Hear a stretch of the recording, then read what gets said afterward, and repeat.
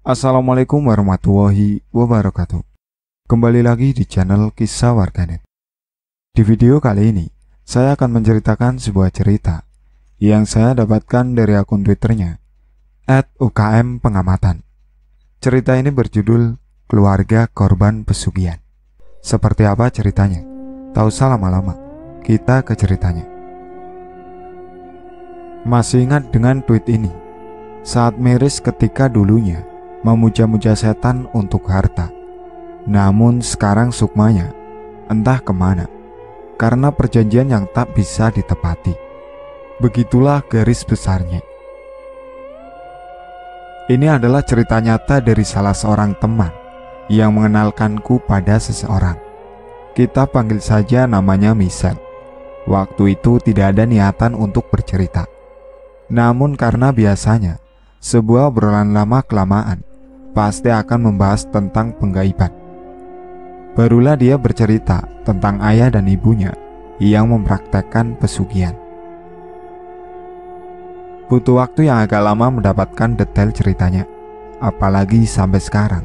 Hal itu masih mengantui keluarga Michelle. Bahkan di sela waktu menceritakan, Michelle selalu meneteskan air mata. Dia sudah benar-benar hilang akal dan tidak menyangka ini semua bisa terjadi kepada keluarganya. Kukira cuma sinetron aja mas, kejadian kayak gini. Ternyata aku alami sendiri dengan mata yang sembab. Ini semua bermula ketika Michelle masih kecil, ketika kedua adiknya belum lahir ke dunia. Dulu ayahnya bekerja di sebuah perusahaan besar di Yogyakarta dan ekonomi keluarga bisa dibilang berkecukupan. Hingga suatu waktu sang ayah dipecat karena difitnah menggelapkan uang oleh teman kantornya. Dari sinilah ekonomi keluarga berubah total. Sang ayah yang kesulitan mencari pekerjaan dan pekerjaan ibunya sebagai ART tidak bisa mencukupi kebutuhan sehari-hari. Lama-kelamaan, Barang-barang berharga satu persatu dijual. Mobil, motor, dan perhiasan dijual hanya untuk kebutuhan sehari-hari. Sembari sang ayah yang bekerja serabutan. Misal yang pada waktu itu baru akan masuk SD berbarengan dengan sang ibu mengandung adik pertamanya. Kebutuhan yang semakin meningkat membuat sang ayah kebingungan mencari nafkah. Akhirnya diputuskan untuk menjual rumah dan mencari yang lebih murah. Namanya rumah pasti tidak secepat itu terjual. Butuh berbulan-bulan, bahkan bertahun-tahun. Sang ayah tak habis akal. Dia menawari rumahnya ke beberapa orang dan juga ke teman ayahnya dahulu. Sang ayah berkelana ke sana kemari untuk menjual rumahnya. Namun di tengah perjalanannya, ketika Michelle masih diselimuti kepolosan, Suatu hari sekitar jam 11 malam, rumahnya didatangi oleh segerombolan orang.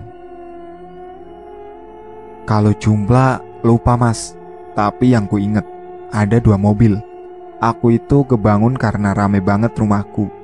Ibu aja bingung, gelas di rumah nggak cukup buat ngasih minum. Begitulah penuturan Michelle saat menceritakan segerombolan orang datang ke rumahnya. Menurut penuturan Michelle, orang-orang itu agak aneh karena memakai baju yang sama semua dan pakaian yang dipakai dari atas sampai bawah berwarna hitam. Dan salah satu dari mereka membawa sebuah plastik hitam besar. Michelle sempat bertanya kepada ibunya, mereka itu siapa? Karena Michelle belum pernah melihat orang-orang itu sama sekali. Usut punya usut, Ternyata ibunya juga tidak tahu dengan orang-orang yang datang pada waktu itu. Michelle tidak tahu yang diobrolkan sang ayah dengan segerombolan orang itu. Karena mereka berkerumun di dekat mobil yang agak jauh dari teras rumahnya. Tak lama kemudian, sang ayah ikut dengan segerombolan dan pergi entah ke mana. Sang ibu sempat bertanya, namun sang ayah hanya diam. Bukan satu dua hari, sang ayah tak kunjung pulang hingga tujuh hari lamanya. Sang ibu yang sedang mengandung kebingungan dan tidak tahu mencari ke mana. Apalagi dia tidak mengenal orang-orang yang datang malam itu. Di tengah kebingungan karena sang ayah tak kunjung pulang, tiba-tiba di suatu pagi ketika Michelle berangkat ke sekolah, dikagetkan sang ayah yang sudah ada di teras rumah. Tetapi Michelle melihat ada sesuatu yang berbeda dari ayahnya. Sang ayah yang biasanya terlihat murung, kali ini terlihat bahagia. Beda banget pokoknya. Pas itu ayahku kayak bahagia banget malah nganter aku ke sekolah. Padahal biasanya gak pernah sama sekali. Michelle yang bertanya-tanya di dalam hati sempat kebingungan. Walaupun dia senang melihat ayahnya sekarang sudah tidak bersedih lagi. Di balik ayahnya yang bahagia itu, ternyata sang ayah bercerita kepada ibunya bahwa sudah bekerja lagi dan pekerjaan ia dapatkan dari salah seorang teman barunya. Teman baru yang dimaksud adalah segerombolan orang yang datang malam itu. Ibunya bertanya kepada sang ayah, "Yang kemarin itu siapa, Pak? Kok aku baru lihat ya?" "Itu temanku, Bu. Aku ketemu pas nawarin rumah yang mau kita jual, tapi nggak jadi ku jual. Aku udah dapat kerja, gajinya juga lumayan." Sejak ayahnya bekerja lagi, ekonomi keluarga Michelle berubah drastis. Yang dulunya ingin menjual rumah, malah ayahnya membeli rumah baru dan bisa dibilang lebih besar dari rumah sebelumnya. Apa pun dibeli oleh ayahnya untuk kebahagiaan keluarga. Hingga adik pertamanya lahir, ekonomi keluarga semakin naik dan tak jarang ayahnya berkontak-ganti mobil. Michelle yang ikut kecipratan bahagia karena apa pun yang ia inginkan selalu diberi oleh ayahnya. Bahkan dari teman Michelle yang lain, Michelle bisa dibilang paling loyal dan dianggap orang kaya. Waktu terus berjalan, Michelle dan adiknya yang bertambah dewasa semakin jaya dan bahagia dengan kehidupan mereka. Hingga suatu hari, sempat ada pertengkaran hebat antara ibu dan ayahnya. Pertengkaran ini terjadi karena ibunya mempermasalahkan sang ayah yang selalu pergi sampai pagi hari dengan segerombolan teman yang selalu menggunakan pakaian hitam. Menurut penuturan Michelle, memang di hari-hari tertentu sang ayah selalu pergi, entah ke mana, dan pulang ketika subuh tiba. Ketika ditanya, sang ayah selalu menjawab, lembur.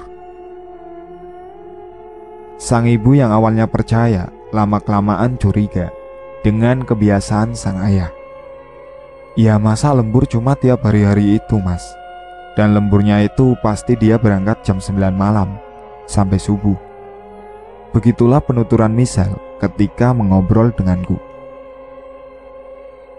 Pertengkaran yang terjadi tidak membuat lembur ayahnya berubah.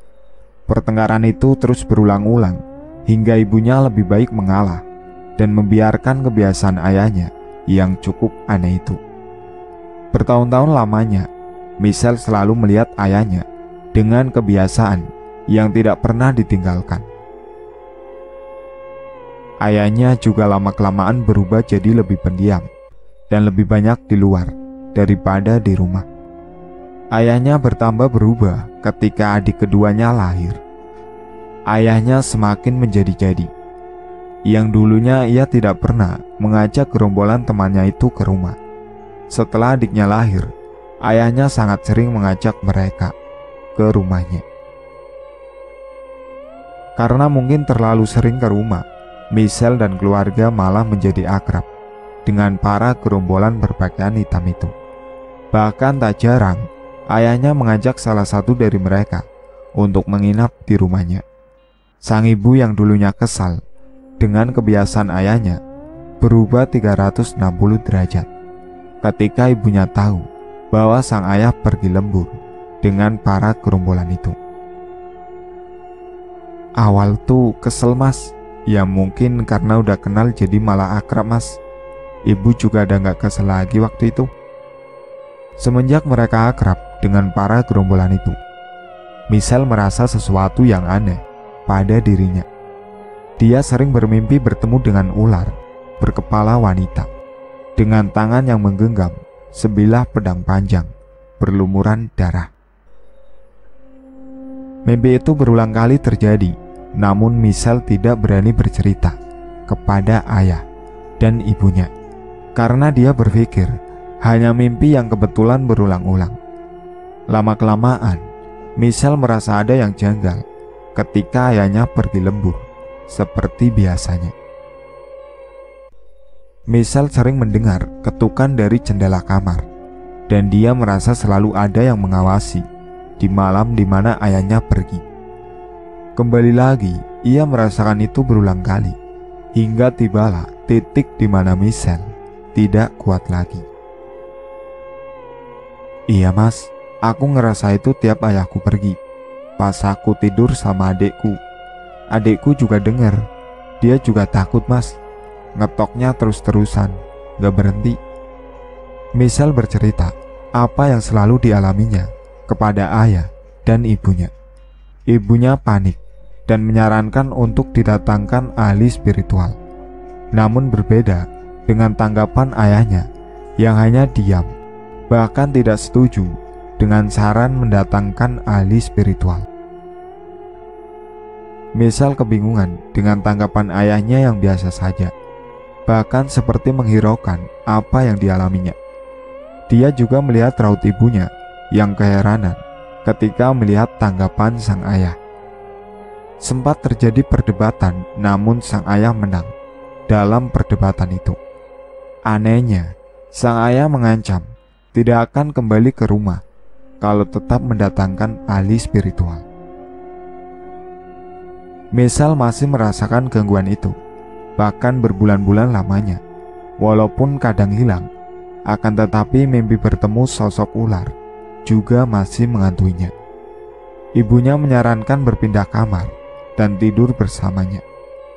Misal mengiyakan dan benar saja, gangguan dan mimpi itu tidak pernah ia rasakan sama sekali di kamar ibunya. Hingga suatu saat, ketika ibunya membereskan kamar Michelle untuk dijadikan gudang karena sudah jarang dipakai, ibunya menemukan sebuah keris kecil yang dibalut dengan kain kafan dengan beberapa bercak tanah tepat di atas jendela kamar. Ibunya ketakutan dan tanpa basa-basi membuang keris itu ke tong sampah. Malam harinya, ibunya bercerita kepada sang ayah, dan bisa ditebak, sang ayah malah murka dan mencari keris itu di tong sampah rumah. Dia tuh nyari di tong sampah, sampai di balik tong sampahnya. Udah kayak kehilangan uang ratusan juta lah. Dia nemu kerisnya lagi, tapi malah dia simpen di lemarinya Misal tak habis pikir dengan ayahnya yang semakin aneh. Ia pun menebak-nebak apakah keris itu ada hubungannya dengan mimpi dan gangguan yang sering ia alami. Ibunya juga berpikiran sama dengan Misal pada waktu itu.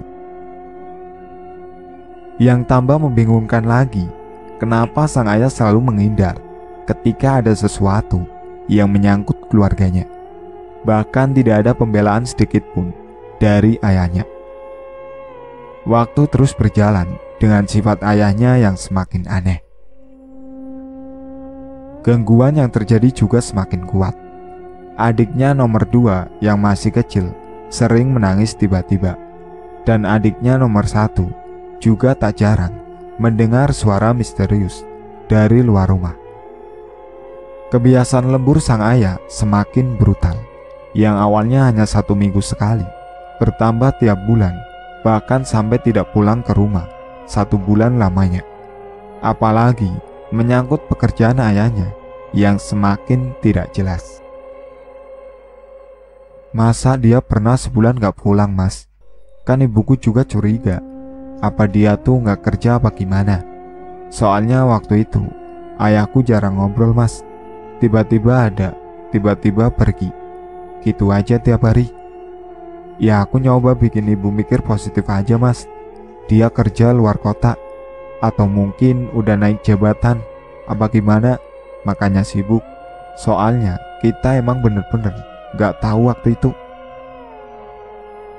Menurut penuturan Michelle, pada waktu itu sempat terbesit pikiran curiga dengan ibunya karena tidak pernah tahu apa yang dilakukan sang ayah selama ini. Dia curiga ibunya selama ini berpura-pura tidak tahu apa-apa, dan sebenarnya sangat tahu apa yang sebenarnya ayahnya lakukan. Dan dia berpikir apa yang selama ini diperlihatkan oleh ibunya hanya pura-pura semata untuk membuatku tenang.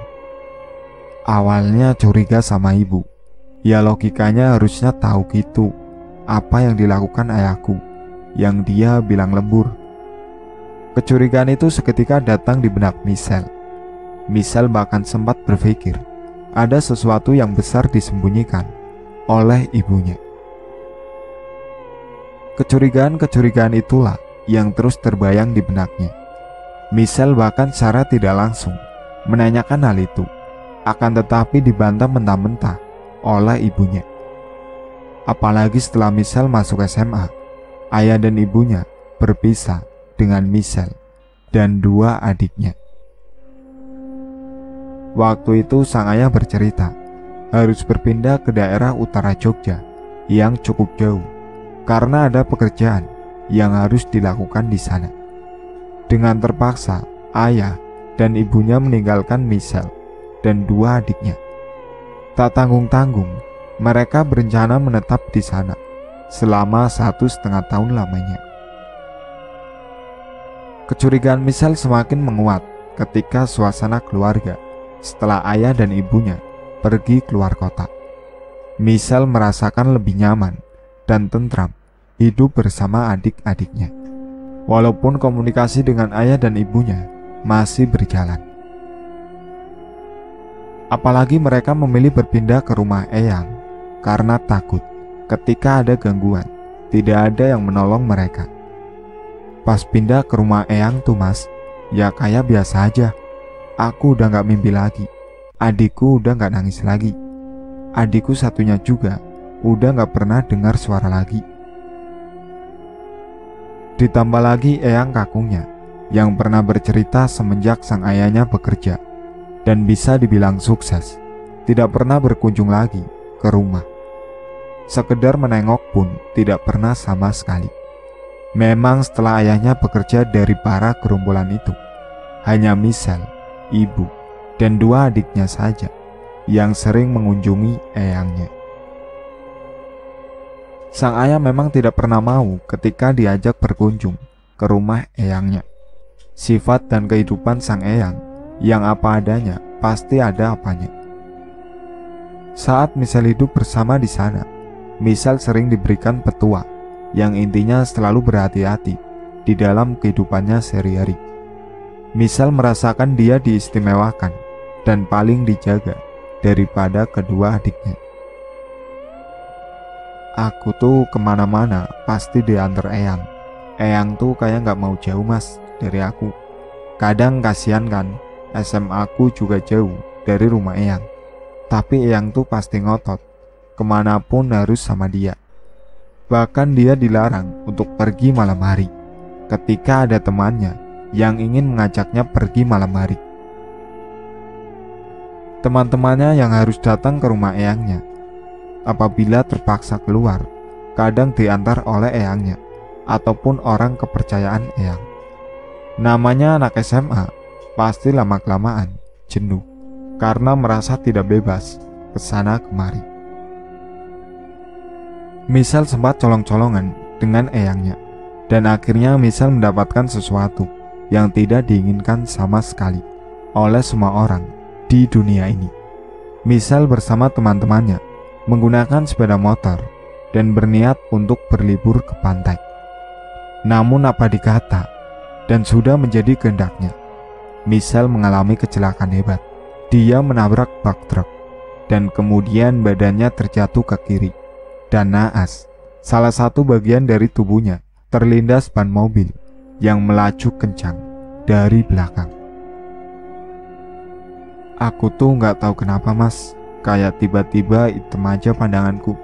Seingatku cuma aku lihat bak truk ada di depan mataku. Habis itu udah, nggak inget apa-apa lagi. Bangun-bangun udah di ruangan dan udah kayak gini. Menurut penuturan eyangnya yang langsung datang ketika mendengar kabar dari teman-teman Misal. Eyangnya sempat pesimis, Misal bisa selamat karena di beberapa bagian badannya patah dan banyak darah yang keluar pada saat itu. Tak hanya itu, di bagian organ dalam juga banyak terkena benturan karena kecelakaan itu. Yang paling parah, salah satu tubuhnya tidak bisa aktif lagi sampai sekarang.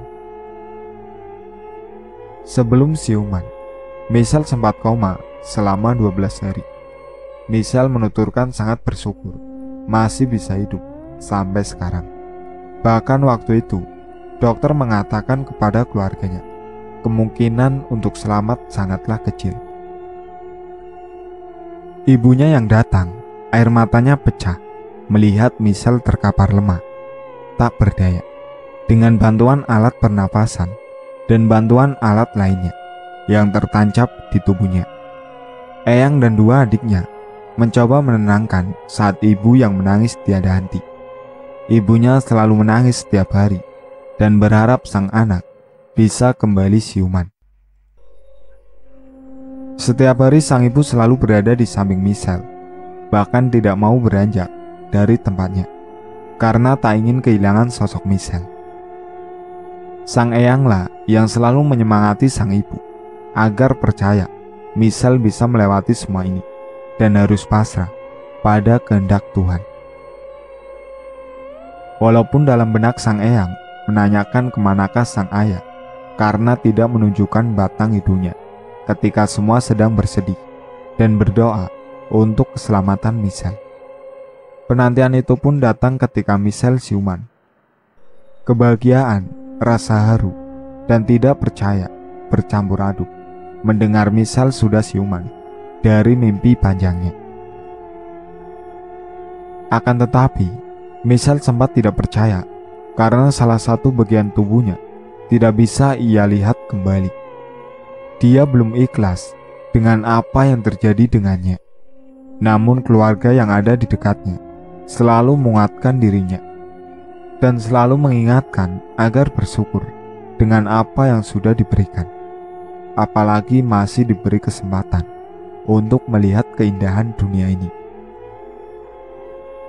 Berjalannya waktu, Misal berangsur pulih walaupun harus melakukan beberapa terapi untuk menghilangkan trauma dan rasa sakit yang ada di tubuhnya dari bekas operasi yang dilakukan. Ibunya yang selalu menemani Misal berbanding terbalik dengan sang ayah yang belum pernah ia lihat semenjak ia siuman. Ada sedikit rasa kecewa dan berulang kali ia bertanya kepada ibunya pergi ke mana sang ayah. Namun ibu hanya diam dan menitikan air mata ketika Michelle bertanya keberadaan sang ayah. Udah, yang penting kamu sembuh dulu.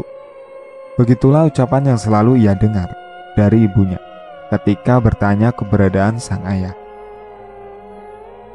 Ketika Misal benar-benar sembuh dan sudah bisa beraktivitas seperti biasanya, terhitung sudah satu setengah tahun lamanya semenjak dia siuman, tidak melihat sang ayah. Ibunya yang sudah meninggalkan sang ayah juga tidak mengetahui keberadaan ayahnya.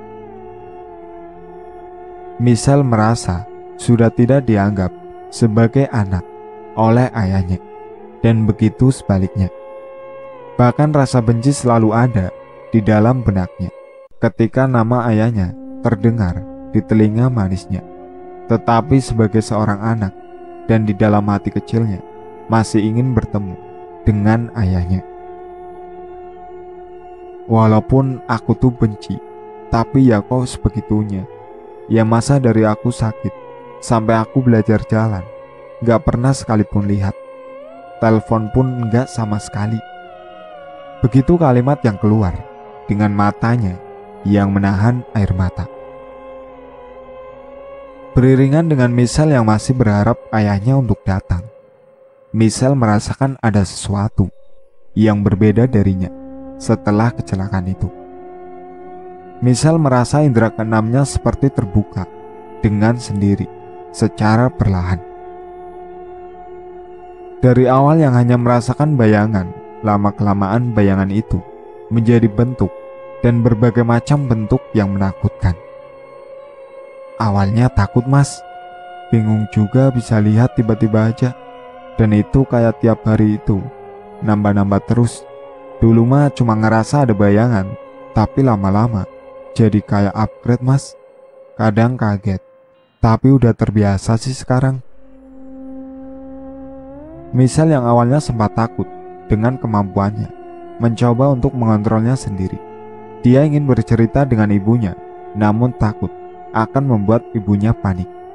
Hingga suatu hari, sang eyang menemuinya dan betapa kagetnya Misal mendengar perkataan dari eyangnya. Untung kamu masih hidup, Le. Maaf ya, Mbak nggak bisa bantu kamu. Mbak juga nggak kuat buat ngelawan ayahmu. Dengan nada bergetar sambil memegang tangan Misal dengan eratnya. Misal benar-benar tidak tahu maksud dari perkataan eyangnya itu. Misal bingung melihat sang eyang yang kemudian menangis dan meminta maaf atas segala sesuatu yang terjadi, bahkan menunduk di hadapannya. Dia yang tak tega membangkitkan sang eyang dan mencoba menenangkan untuk menjelaskan maksud dari perkataan tadi.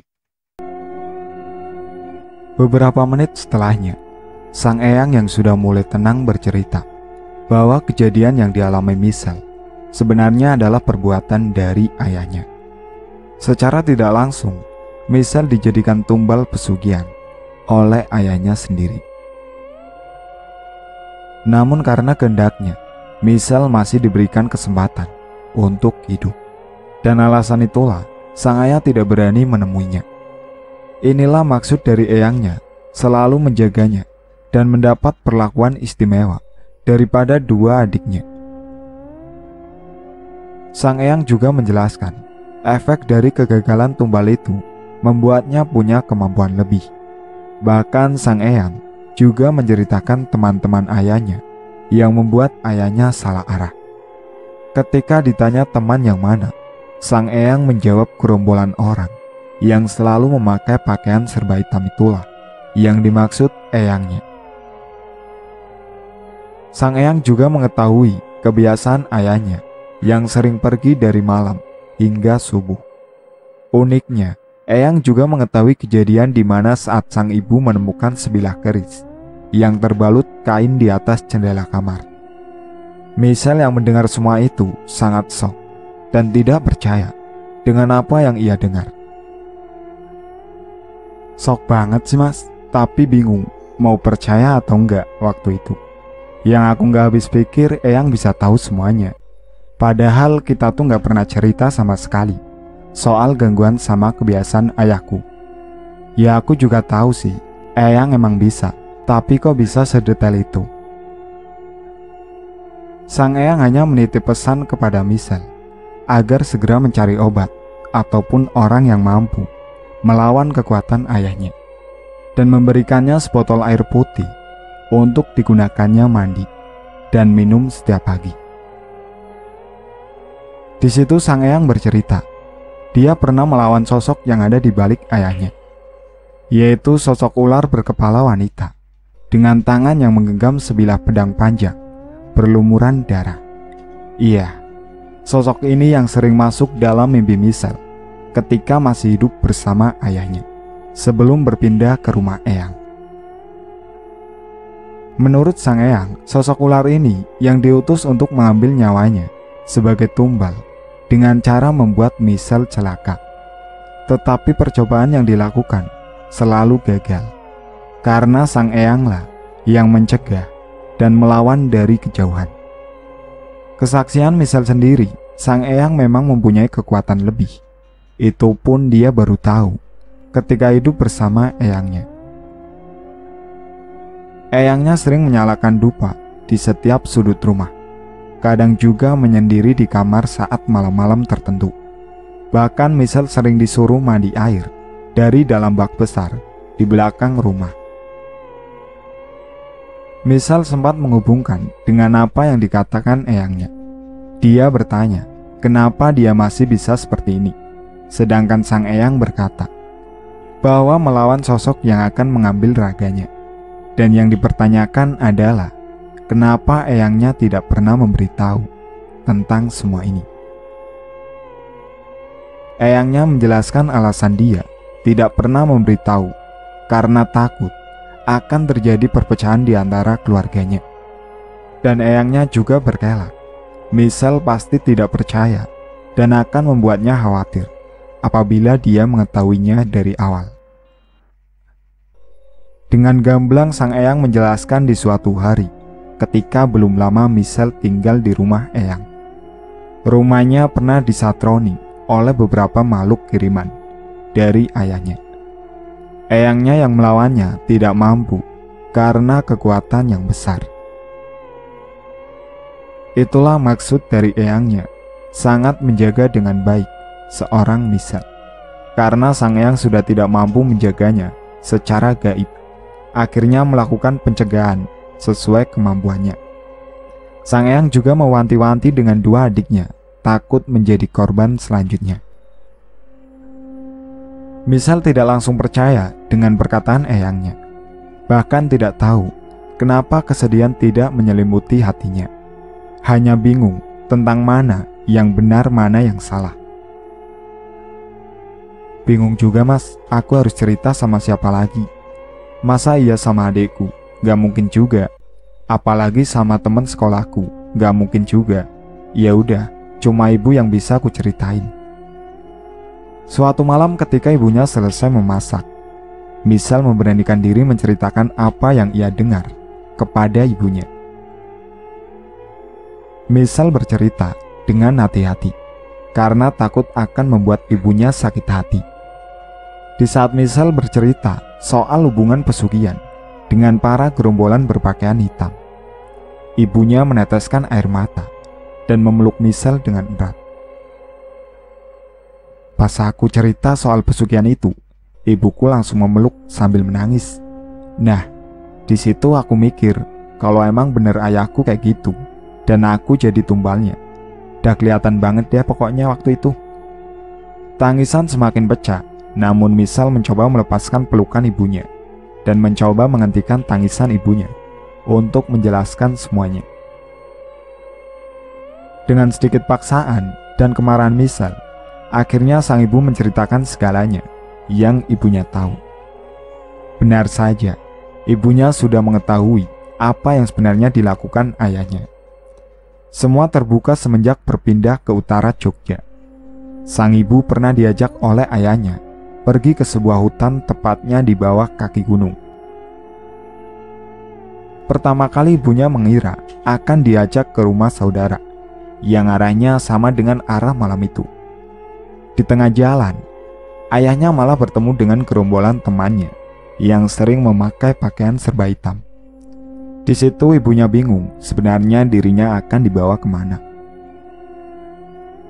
Sampailah di sebuah hutan dan sang ibu diajak berjalan kaki masuk ke dalam hutan bersama para gerombolan itu. Tibalah di sebuah gubuk yang tak jauh dari situ, terdapat sebuah gua. Dengan mata kepalanya sendiri, ibunya melihat ayah dan para gerombolan itu melakukan ritual memutari sebuah benda yang berada di tengah-tengah mereka. Ritual yang mereka lakukan dengan membaca sesuatu secara bersama-sama. Ibunya menunggu sekitar satu jam, dan setelah selesai melakukan ritual, ayahnya membawa sebuah bungkusan dan dibawanya pulang. Di perjalanan pulang, sang ibu sempat bertanya apa yang sebenarnya dilakukan di tengah hutan dan apa isi dari bungkusan yang dibawanya. Bukannya dijawab, sang ayah malah marah dengan apa yang ditanyakan kepadanya. Dengan penuh amarah, sang ayah mengelak. Yang dilakukannya hanyalah ritual untuk keselamatan dia dan keluarganya. Dan ketika ibunya ingin mengambil bungkusan itu, tiba-tiba sang ayah langsung mengambil bungkusan itu dari tangan ibunya. Tak hilang akal, ibunya mencoba mengambil bungkusan itu ketika ayahnya tertidur pulas. Begitu kagetnya, di dalam bungkusan terdapat sebuah bungkusan kain putih panjang dan beberapa bunga di sekitarnya. Ibunya yang terkejut dengan refleks membuang bungkusan itu dan segera pergi meninggalkan bungkusan yang sempat tercacar di lantai. Pagi harinya, sang ayah yang mengetahui bungkusan berserakan langsung mencari ibunya dan tak segan menampar, bahkan memukulnya. Ibunya sempat meminta ampun, tetapi tidak digubris oleh sang ayah. Ibunya sangat terpukul dengan kejadian itu, karena selama mereka menikah, tidak pernah sekalipun sang ayah berbuat sampai segitunya. Semarah-marahnya mungkin hanya sekedar membanting benda-benda di sekitarnya. Sang ibu yang bisa dibilang kepo selalu mencoba bertanya kepada sang ayah tentang bungkusan yang sangat dijaganya. Tetapi pasti terjadi perkelahian di antara keduanya. Hingga di suatu malam, sang ayah yang pergi bersama teman-temannya dan kemungkinan menuju tempat ritual itu lagi. Ibunya mencuri kesempatan dengan mencoba mendatangkan ahli spiritual untuk langsung mengecek rumahnya dan menjawab apa sebenarnya di balik semua ini. Ahli spiritual itu menjelaskan bahwa apa yang ada di bungkusan kain adalah sebuah alat untuk ritual pesugihan.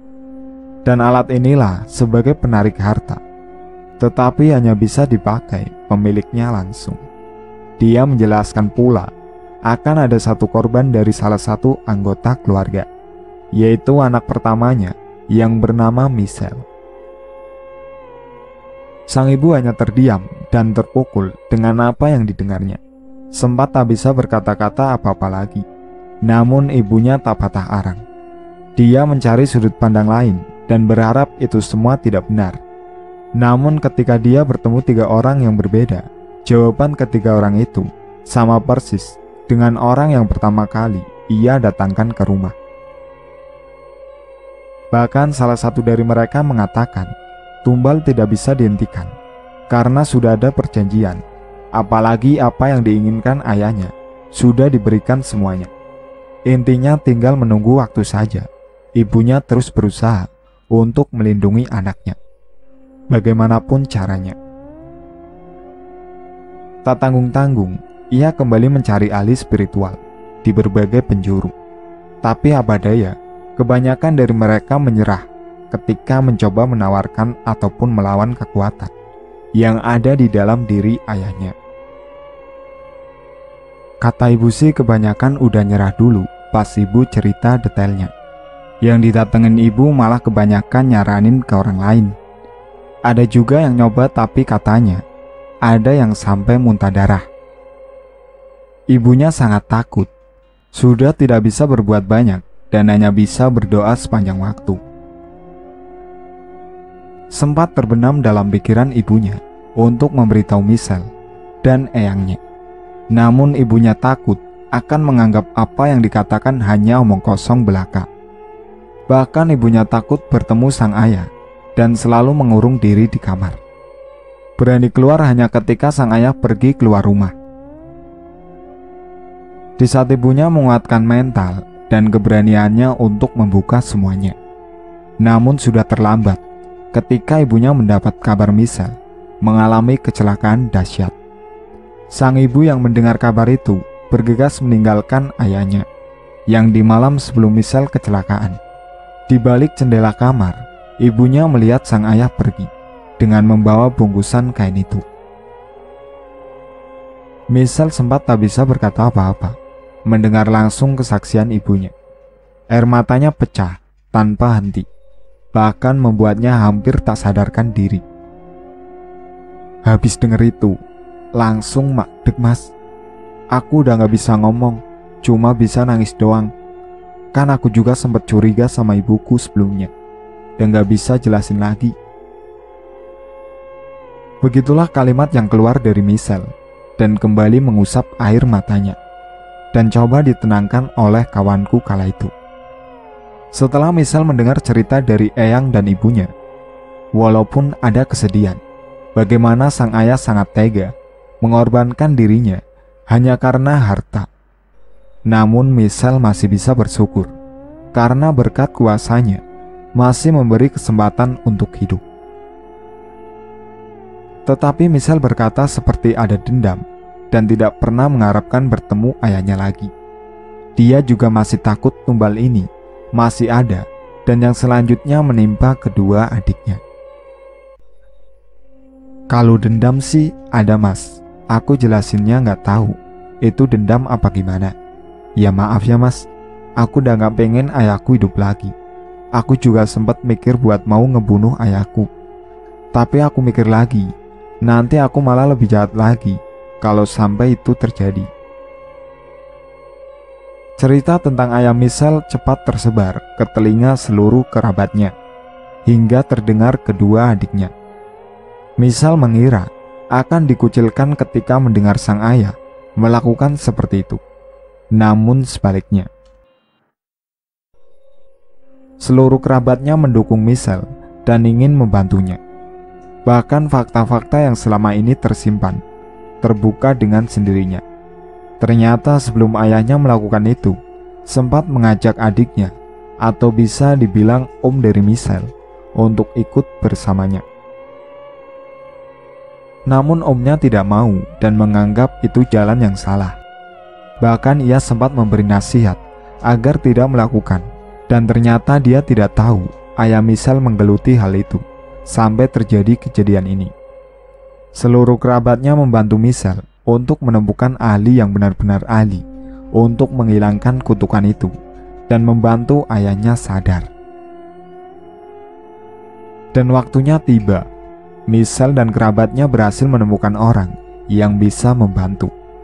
Entah kebetulan atau bagaimana, orang ini dulunya juga sempat ikut dalam lingkaran ayahnya. Sebuah perkumpulan yang memang bertujuan untuk mencari harta dengan bantuan goib. Nama dari perkumpulan tidak kita sebutkan demi kemuslahatan bersama. Orang ini sempat terjerumus, namun mendapat berkah yang membuatnya bisa keluar dari lingkaran itu. Namun kembali lagi, dia hanya bisa membantu sebisanya dan tidak benar-benar menyembuhkan ayahnya. Karena menurut dia, sukma dari ayahnya sudah tidak terkontrol dan bisa saja sudah dikuasai oleh makhluk lain. Di suatu malam, orang ini mengadakan doa bersama dan melakukan sebuah ritual. Saat itu ia dibantu muridnya yang berjumlah tujuh orang dan Eyang Misel juga ikut melakukan ritual tersebut.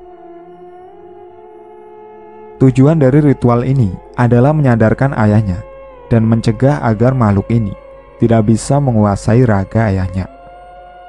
Pas itu rame banget mas Aku lupa tempatnya di mana. Tapi aku keluarga sama saudara-saudaraku. Dibantu si bapak doa bersama mas.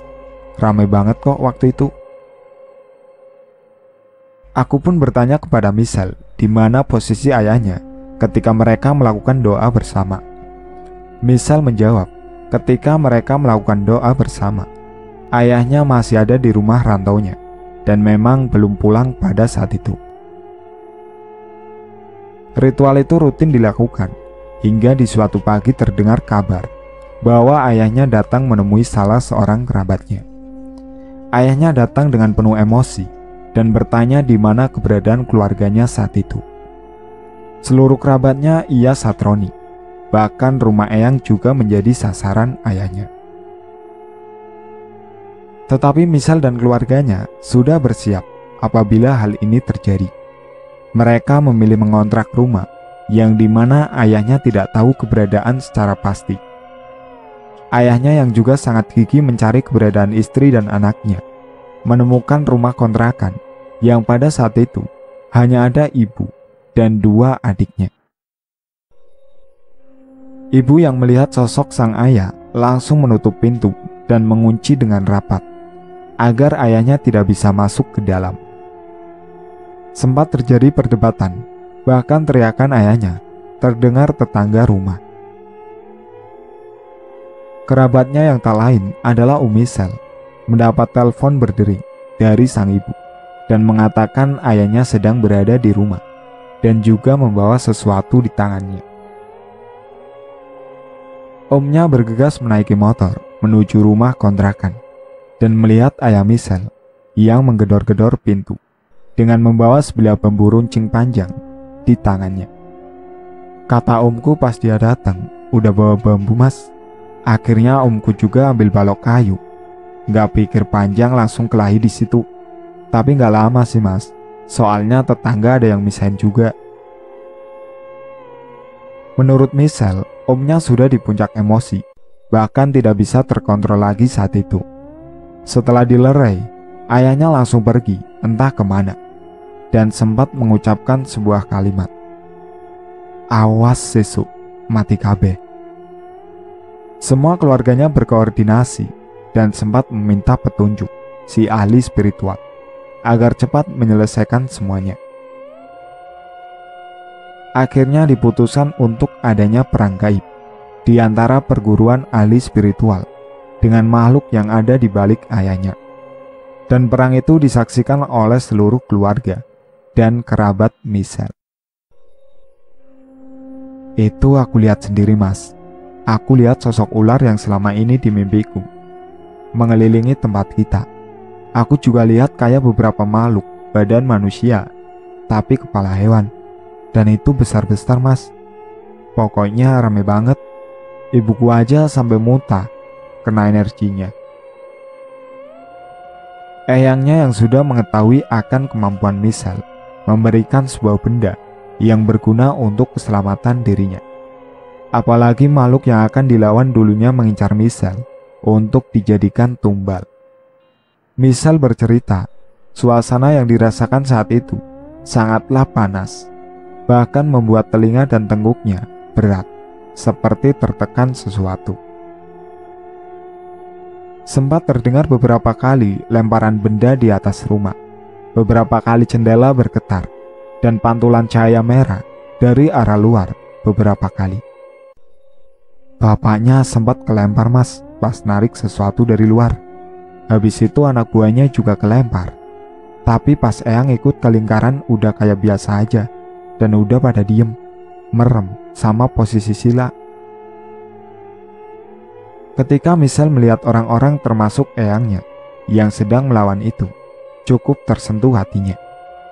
Misal merasa masih ada yang mau membantunya, walaupun dia bukan siapa-siapa. Bahkan waktu itu Misal berpikir, imbalan apa yang pantas diberikan kepada orang-orang yang membantunya. Mereka bertarung nyawa mas. Aku bingung, kenapa kok mereka mau demi aku? Begitulah yang terfikir di benaknya waktu itu. Perang gaib itu berlangsung beberapa jam dan berakhir ketika eyangnya tersungkur sambil meremas bagian perutnya. Seketika semua membuka mata dan membawa eyangnya di sebuah tikar terpisah dengan yang lain. Aku kaget mas lihat eyang. Pas aku deketin eyang cuma bilang, Alhamdulillah, semoga ada efeknya ya lih. Tapi aku masih lihat yang lain semedi. Bingung sebenarnya, udah selesai belum? Tak lama berselang, salah satu ketua dari perang gaib itu membuka mata dan langsung menghisap rokok sembari meminum segelas kopi hitam yang ada di hadapannya.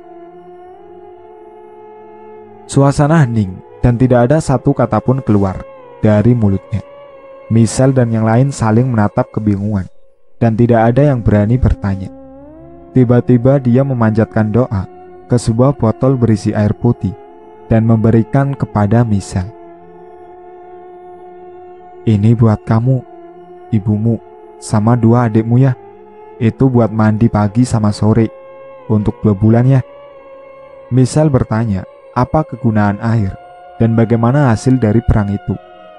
Dijelaskan bahwa air itu berguna untuk pagar keluarganya, agar sang ayah takut melihat mereka, terutama misal, dan bisa menjadi benteng gaib dari ayahnya apabila masih ingin melakukannya. Dan hasil perangnya bisa dikatakan berhasil bisa tidak. Dijelaskan bahwa makhluk yang bersekutu dengan ayahnya sangat banyak karena ayahnya memiliki beberapa ilmu ajian. Beberapa makhluk yang ada sudah dilawan dan tidak akan kembali. Namun ada satu makhluk yang sekarang 90% menguasai ayahnya dan tinggal menunggu waktu menuju 100%. Makhluk itu adalah ular yang dulunya masuk ke dalam mimpi Misal. Misal bertanya, kenapa ular itu bisa menguasai ayahnya? Usut punya usut. Ular itu menagih janji tumbal yang dijanjikan ayahnya. Tumbal itu adalah misal, yang kebetulan ketika sang ayah memulai semua itu, misal adalah anak satu-satunya. Namun misal gagal menjadi tumbal, karena dia bisa selamat dari kecelakaan dahsyat itu.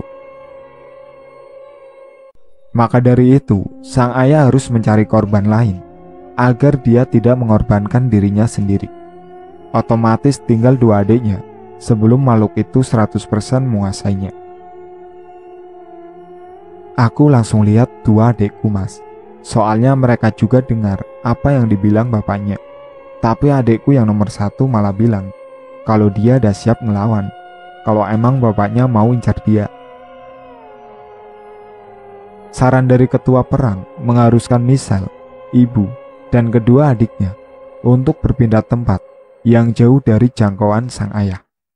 Namun karena Michelle dan kedua adiknya yang masih bersekolah, diputuskan mereka tinggal di rumah saudara yang pada saat itu baru saja membuat rumah.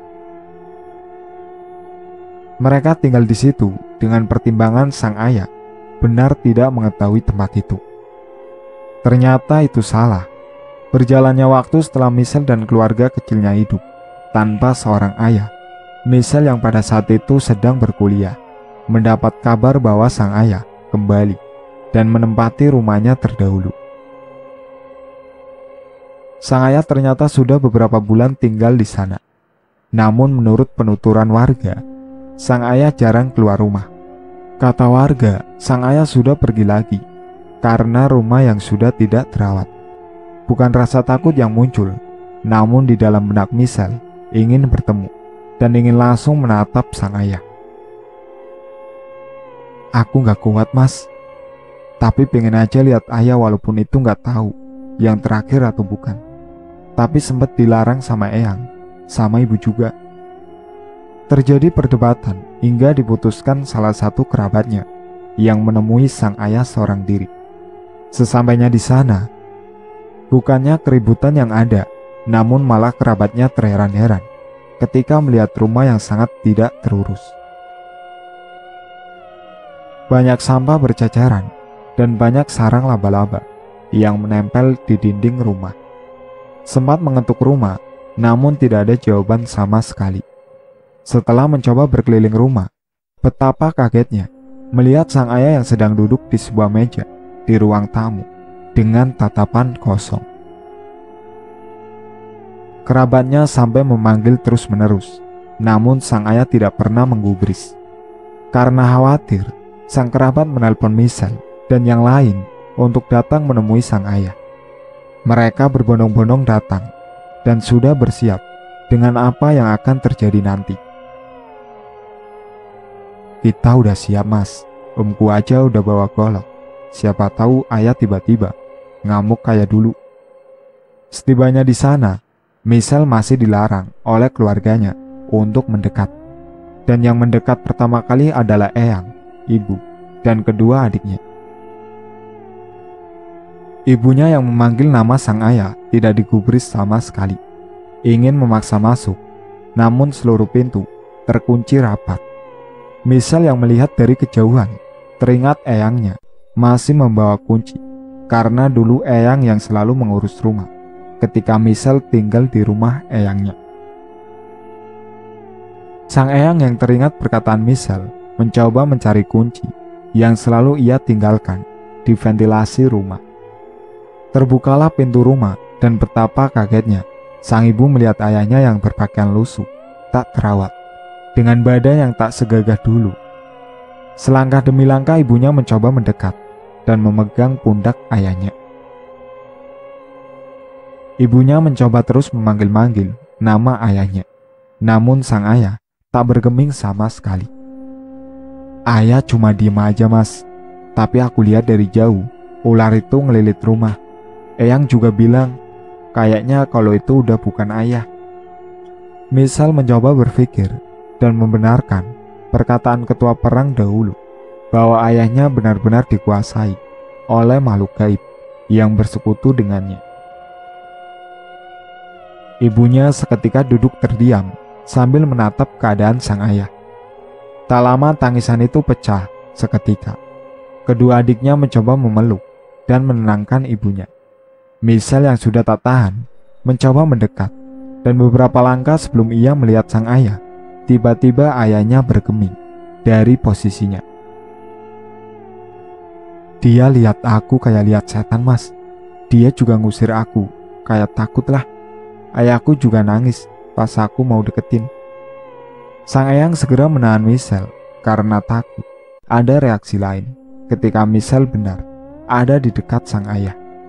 Michelle menolak dan ingin mencoba berbicara dengan ayahnya.